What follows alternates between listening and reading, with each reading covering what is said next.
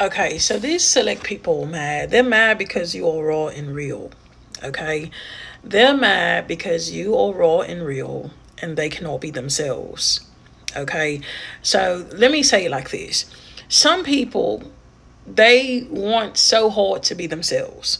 They want so hard to like let loose, be themselves. You know, talk about whatever, right?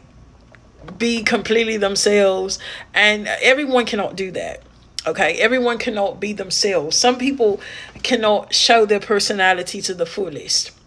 If they show their personality, all of a sudden they're taken down. All of a sudden they're canceled. Okay, and they uh, they're afraid of being canceled. They're afraid of being taken down. You understand?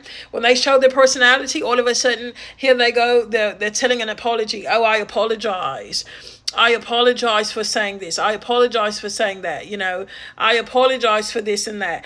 And this is what's happening because they cannot be themselves okay and what's happening is they're putting themselves in this mental prison and this causing this resentment toward someone okay? Who this could be you all right? This is causing resentment because deep down inside they want to be themselves.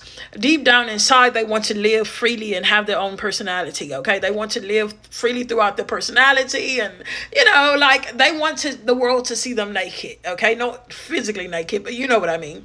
This is what they want to live. This is how they desire to live. They desire to live authentic free, like, you know, no censored, raw life. And you have that. For someone here, you have that type of personality. You have that personality. You don't care what people think. You don't care if people are looking at you and you look a mess. This is what they desire. This is where they desire to be. Okay, and this could be the cause of the envy. This could be the cause of the hate.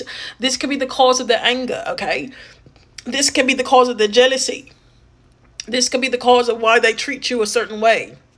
Okay, so it's very uh, important to understand everyone has their own things they're going through. Everyone has their own their own reasons as to why they do things. Everyone has their own reasons as to why they own, they they treat people a certain way. You know, the internal struggles. People don't talk about internal struggles.